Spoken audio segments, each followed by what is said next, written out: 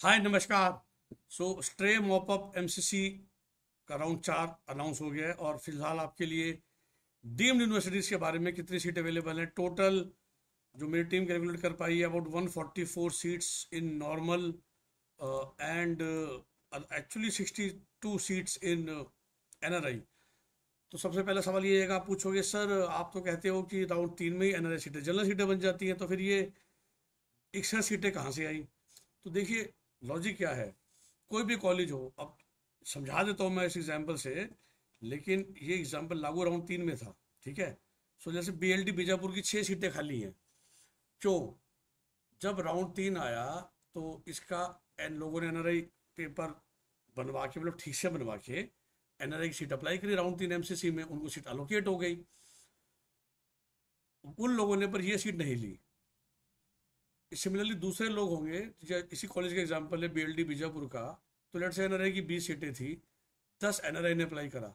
तो राउंड तीन में दस सीटें एनआरआई को एलोकेट हुई दस सीटें जो एनआरआई अप्लाई नहीं करे नॉर्मल सीट बन गई।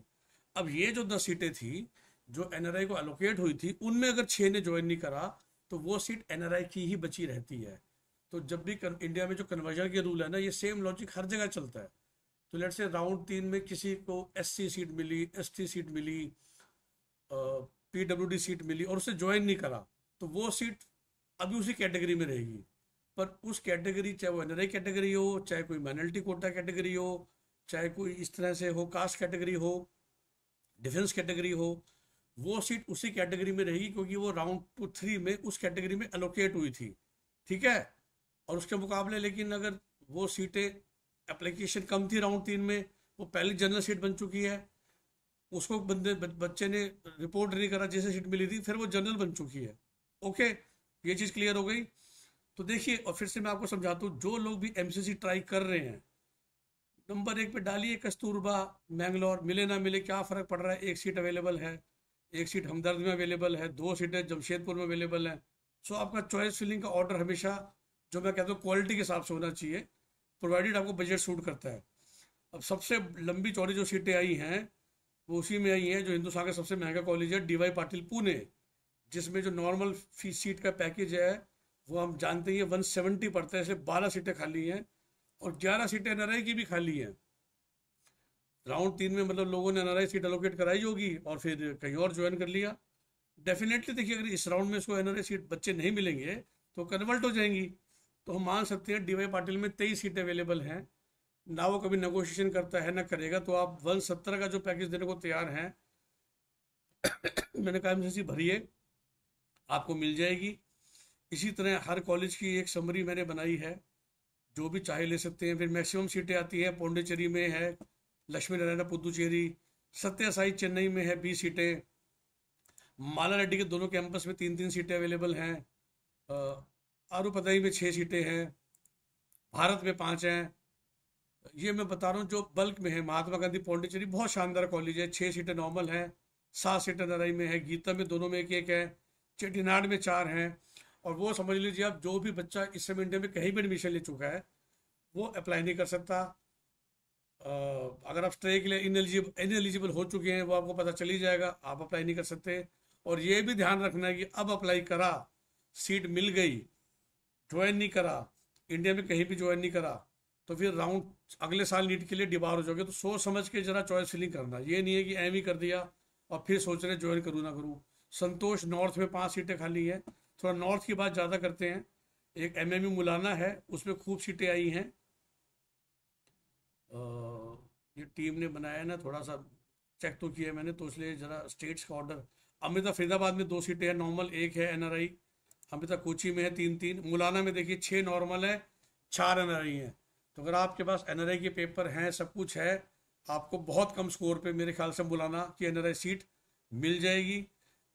आप नहीं अप्लाई करेंगे छः जमा चार, दस सीटें हो जाएँगी मुलाना में।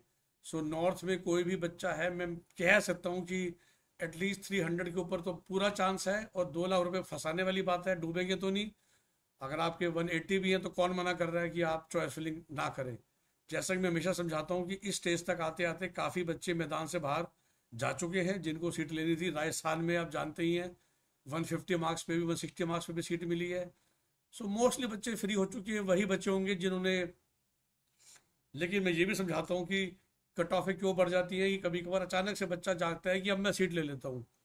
लेकिन जनरली फिर से वही बात है कि राउंड तीन तक वो बच्चे जाग चुके होने चाहिए और राजस्थान में सीट ले ली होगी जो कि बहुत कम मार्क्स पे मिली हैं और रीजनेबल बजट्स में भी मिली हैं।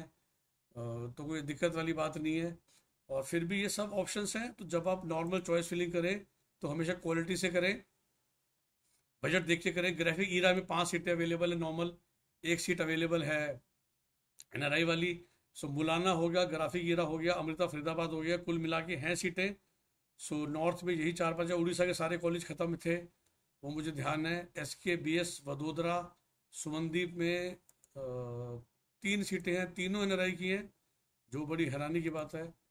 एक बार इसको चेक करना चाहिए कि टीम ने कहीं कोई गड़बड़ तो नहीं कर दी है?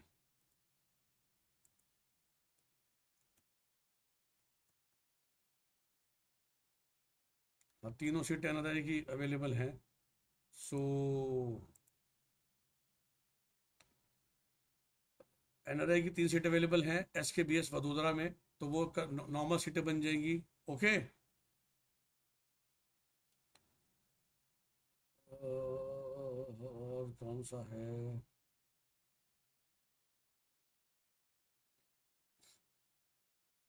मीनाक्षी का बजट रिजनेबल है, वो आप ट्राई कर सकते हैं। M G M is very expensive आपको ध्यान रखिएगा।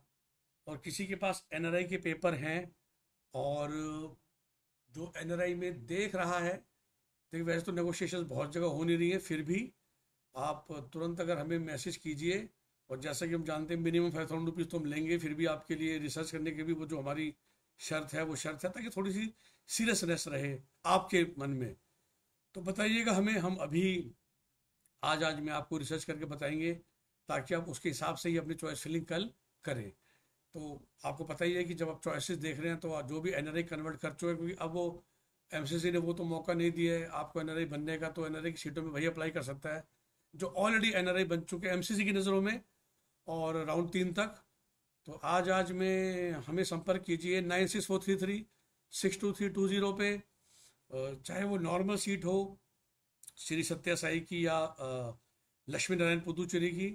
और हमको अगर लगेगा कि नेगोशिएशंस ऑफ़र की जा रही हैं, किसी भी कॉलेज में, हम आपको ज़रूर बताएँगे। ओके क्योंकि अब लास्ट राउंड है ना तो हर कॉलेज चाहता है कि सीटें भर जाए। लेकिन डेफिनेटली डीवाई पाटिल तो कभी भी नहीं करेगा।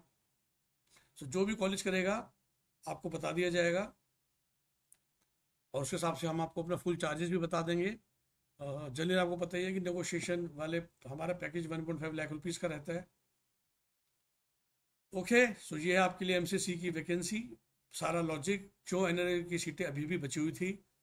Nine six four three three six two three two zero हमारा नंबर है, आप जानते ही हैं। Have a nice day bye take care again best विशेष जल्दी से आपको सीट मिले, जो अभी विदाउट सीट है, और फिर से लास्ट में दोबारा वार्निंग चाहे नॉर्मल सीट एलोकेट हो जाए एन एलोकेट हो जाए एम ज्वाइन ना करो, कोई स्टेट ज्वाइन कर लो, कोई बात नहीं। कुछ भी ज्वाइन नहीं करा तो अगले साल अगले भी बाहर हो जाओगे। बहुत सोच समझ के पंगे लेना ओके बाय बाय